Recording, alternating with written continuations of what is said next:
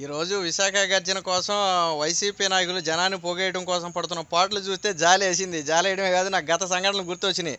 ఆ తిరుపతి ఉప ఎన్నికలప్పుడు మీకు గుర్తుందో లేదో టూరిస్ట్ బస్సులు వందల సంఖ్యలో టూరిస్ట్ బస్సులు వచ్చినాయి తమిళనాడు నుంచి. అలాగే కుప్పం సభకు కూడా టూరిస్ట్ బస్సులు వచ్చినాయి వందల సంఖ్యలో. అలాగే ఇప్పుడు విశాఖ గర్జనకు కూడా టూరిస్ట్ బస్సులు వచ్చే సమయం ఆసనం అయింది. అంతేనా? లోకల్ కాలేజీలు మొత్తానికి ఫోన్ చేసి మీరు విశాఖ గర్జనకు విద్యార్థులను తీసుకురావాలి. అయితే మూడు రాజధానుల ఉద్యమం అని చెప్పొద్దు అన్నారంట.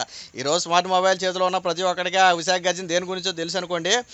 పైగా కాలేజీలకి కాలేజీలు ఏం చెప్తున్నాయంటే మీరు సోషల్ యాక్టివిటీస్లో కొన్నిట్లో పార్టిసిపేట్ చేయాలి. అందులో విశాఖ గర్జన ఒకటి రాకపోతే మీకు సర్టిఫికేట్లు రావు ఫెయిల్ చేస్తామని చెప్పి ఏదో బెదిరిస్తున్నారంట. సరే విద్యార్థులు ఏముందండి బలవంతం చేస్తే సరదాగా ఒకసారి వెళ్ళి వచ్చేద్దామని వెళ్ళి వచ్చేస్తారు.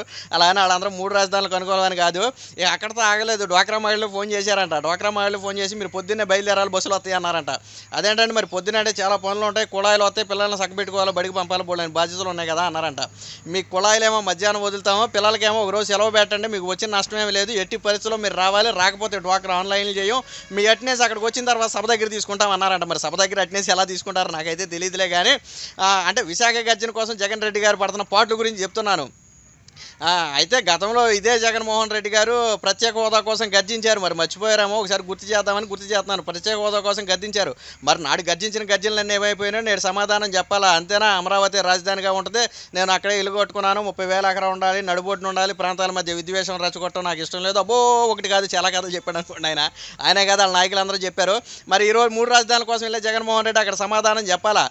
సరే ఇవన్నీ కాసేపు పక్కన పెడితే గత వారం రోజుల నుంచి వైసీపీ నాయకులు ఒక్కొక్కరు బుక్ కుంభకోణాలు బయటకు వస్తున్నాయి. విజయసాయి రెడ్డి గారిది ఆ తర్వాత ఇంకొక ఎంపీ సత్యనారాయణ గారిది ఈ రోజు ధర్మాన గారిది. వరుస పెట్టి మూడు కుంభకోణాలు వచ్చినాయి. అంటే విశాఖ రాజధాని ఎందుకు కావాలంటున్నారు మీ అందరికీ ఇప్పుడు అర్థమై ఉంటుంది. విశాఖలో ఉన్న భూములు మొత్తం ఎవరి చేతిలో ఉన్నాయి అంటే వైసీపీ నాయకుల చేతిలో ఉన్నాయి. సరే వీళ్ళు గతంలో గతంలో ఆక్రమించుకున్నారు ఇప్పుడు ఆక్రమించుకున్నారా అనే సంగతి కాసేపు పక్కన పెడితే అమరావతిలో అయితే సెంటు భూమి తీసుకోవడానికి అవకాశం లేదు కాబట్టి అమరావతిలో రాజధాని వద్దు. విశాఖలో మాత్రం భూములన్నీ వైసీపీ నాయకుల చేతిలో ఉన్నాయి కాబట్టి అక్కడ రాజధాని పెట్టాలా? వాస్తవానికి నిజంగా మూడు రాజధానులు ప్రజలకు మద్దతు ఉంటే విశాఖ ప్రజలు నిజంగానే మూ- రాజధాని అక్కడ ఉండాలని కోరుకుంటే మీరు ప్రజలను సేకరించడం కోసం ఇన్ని పాటలు పడక్కర్లేదు. బస్సులు పంపేసి కాలేజీలను బెదిరించి డ్వాక్రా మహిళలను బెదిరించి లేకపోతే ఉద్యోగులను బెదిరించి ఇవన్నీ చేయాల్సిన అవసరం లేదు. ఇప్పుడు అమరావతి ఉద్యమం ఉంది. దానికి ఎవరు ప్రోత్బలం లేదు. వెనకమాల నిజంగా అమరావతి రాజధానిగా ఉండాలనుకున్న వాళ్ళు రైతులకు న్యాయం జరగాలని మనస్ఫూర్తిగా కోరుకున్నవారు.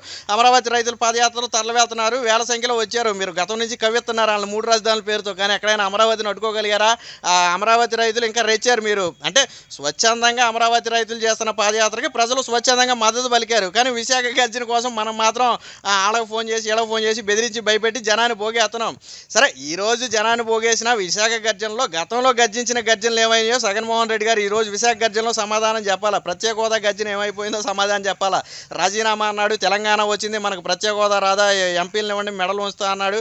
అబ్బో ఇలా చెప్పుకుంటూ పోతే ఒక రోజు పట్టేద్దాం అనుకోండి మరి వాటన్నిటికీ జగన్మోహన్ రెడ్డి గారు సమాధానం చెప్పాలా? పైగా రాజధాని పెట్టడం రాష్ట్ర హక్కు ఎక్కడైనా పెట్టుకుంటామని మీరే చెప్తారు. ఈ మూడున్నరేళ్ళలో విశాఖలో ఏం పెట్టారో మీరు చెప్పరు? పోనీ ఇదిగో నేను ఈ బిల్డింగ్ కట్టాను ఇదిగో ఇందులో ఇది పెడుతున్నానని మీరు ఒకటి చెప్పండి. మూడున్నరేళ్ళ విశాఖలో ఎక్కడైనా ఇటుకేసారా? వేయలేదు పోనీ ఎక్కడైనా సెంటు భూమి సేకరించారా? నే కబ్జాల గురించి మాట్లాడలేదు. మీరు రాజధాని కోసం ఎక్కడైనా సెంటు భూమి సేకరించారా? సేకరించలేదు. మొత్తం కబ్జాలు అనుకుండా ఇవి మీ సొంతం. నేను అనేది రాజధాని గురించి. కాబట్టి విశాఖ ప్రజలకు ఈరోజు జగన్మోహన్ రెడ్డి గారు అక్కడ కొద్ది క్లారిటీ ఇవ్వాలా. గతంలో ప్రత్యేక హోదా కోసం పోరాడిన ఆయన ఇప్పుడు ప్రత్యేక హోదాను మరుగున పడేసి మూడు రాజధానులు ఉద్యమం ఎత్తుకోవడం వెనుకున్న అసలు రహస్యం ఏంటనేది చెప్పాలా? మరి అలాగే మరి గత వారం రోజుల నుంచి వైసీపీ ఎంపీల భూ భూ కబ్జాల గురించి బయటపడిన విషయాల గురించి కూడా ఆయన మాట్లాడి అందులో ఉన్న వాస్తవాలు ఏంటో ప్రజలకు కొద్ది క్లారిటీ ఇస్తే విశాఖ గర్జనకు ఒక అర్థం ఉంటుంది.